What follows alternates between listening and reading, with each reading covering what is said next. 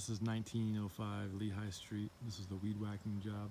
So it's pretty thick in here. Just um, just mind the the trees, the trunks as you go along. Um, anything that gets onto the sidewalk obviously will blow back into the lawn, or you guys can just rake it up and throw it on a tarp and take it away. But um, in like you know, if you find branches like that, you can take those as well. Um, the property line is right up. You can see the difference between where it's mowed and where it hasn't been. It's basically there.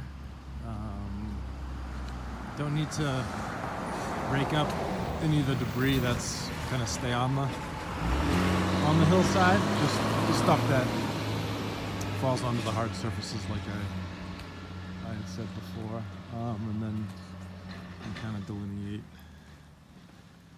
There's a fence there, and that's the property line. So it's pretty pretty self-explanatory.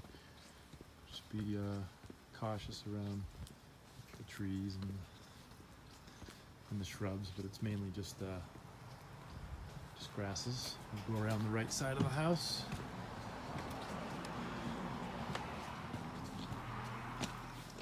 Wouldn't worry about anything in these little rock beds, especially uh, around any windows. This this section near the uh, the gate will need to be done. There's a shrub right there. Um, yeah, he's got a, nice little little backyard. He does have a bunch of uh, perennials in this area, so mind those. And uh, just all the tall grasses in here. Just there's statues and stuff and rocks and some these nine bark shrubs. So, uh, and again, the grasses, you can hit a little bit of them in here, but it's generally the, the, the real part of the job is, uh, is the weed whacking.